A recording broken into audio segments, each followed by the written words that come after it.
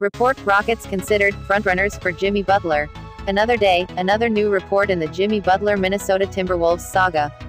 We've heard that the Houston Rockets are reportedly involved in talks with the Wolves about acquiring the star forward, but this latest update shows they are. He getting really serious about making this move and working to supplant the Warriors as top dogs in the NBA. At this point in the Jimmy Butler sweepstakes, this is the most aggressive trade package we've heard about. The Miami Heat were reportedly interested in making a deal for Butler, but the price is very steep and they might not have enough assets to get the deal done. Jimmy, an ISO happy player joining up with Chris Paul, James Harden, and Carmelo Anthony. Where would the ball movement be?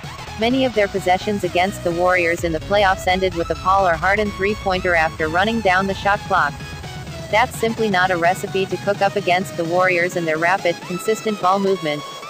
With that being said, the majority of NBA fans did not think Harden and Paul would work out. Perhaps it's a risk worth taking for a team desperate to prove they can take down Golden State. Report Rockets considered frontrunners for Jimmy Butler. Another day, another new report in the Jimmy Butler